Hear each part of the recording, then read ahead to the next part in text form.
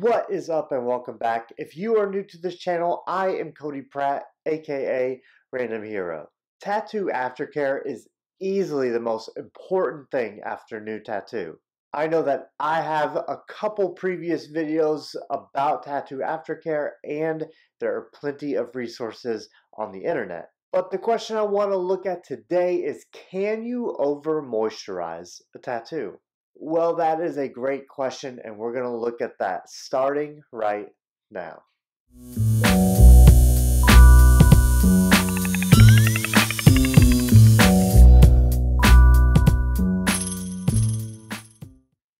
So, why is tattoo aftercare so important? Well, for starters, you are healing an open wound. And then, roughly 24 to 48 hours after you get the tattoo, is when the healing process starts. And lotion is an extremely important tool in that process. The lotion can keep your skin hydrated, it can help prevent scabbing, peeling, and flaking.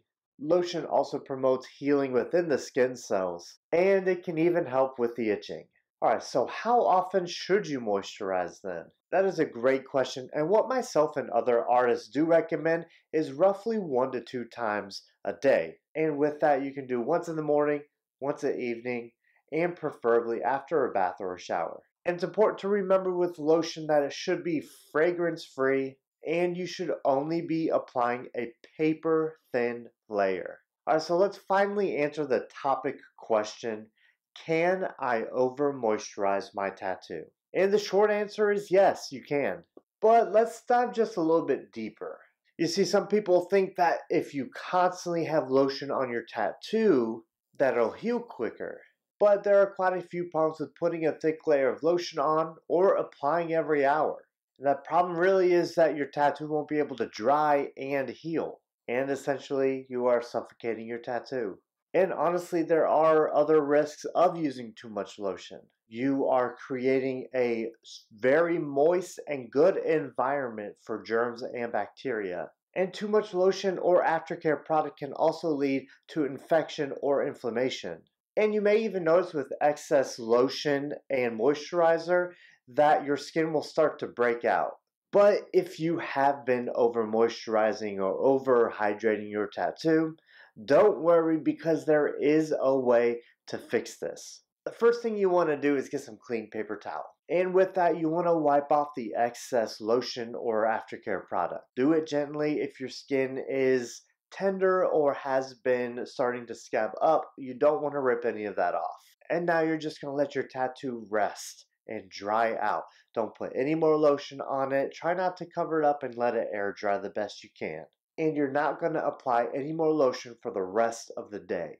Then the next day, start using lotion again as I recommended earlier in this video, which will be once or twice a day, preferably in the morning and the evening, and then after you've showered or bathed. And then lastly, here's some extra bits and pieces of information that are good to know. Do not use any petroleum based products. Personally, I think they suffocate your tattoo, and people usually don't put a thin enough layer and petroleum based products are like your Aquaphor, Vaseline, A&D ointment. You can also really use any moisturizing fragrance free lotion. If you've seen any of my previous videos, you know I prefer Lubriderm or cocoa butter. And then for aftercare products, I definitely recommend Mad Rabbit or Lucky 13's Tattoo Balm. After you wash your tattoo, remember you should be washing your tattoo about three times a day with warm water and soap that you have to pat it dry fully before applying your lotion. Remember that your tattoo is an open wound and you do have to take care of it and pay attention to it. Remember that you are going to see your tattoo scab up and you may think that it's drying out. It's not. Let it be. If you've already applied your lotion, it's alright.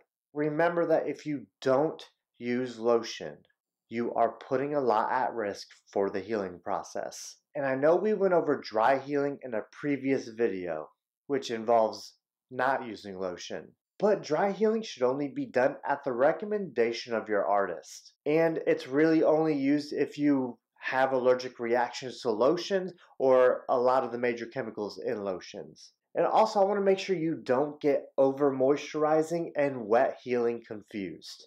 Those are two very different things, and we will definitely go over wet healing in a future video. And lastly, always remember that if you have any questions at all, don't forget to ask your tattoo artist. It's what they're there for. It's kind of what you also paid for is for their help. It's their art that is on you and they want it to heal well. But you can also always reach out to me and I'll be more than happy to help. Let me know in the comments below if you've ever over moisturized a tattoo and what you did to fix it. Don't forget to smash that thumbs up button and give this video a like. As always, you can help out this channel by clicking that subscribe button and don't forget to hit the bell for notifications when we come out with new videos on tattoo advice and tattoo education. Thanks for watching and hanging out with me. Again, I'm Cody and we will see you in the next video.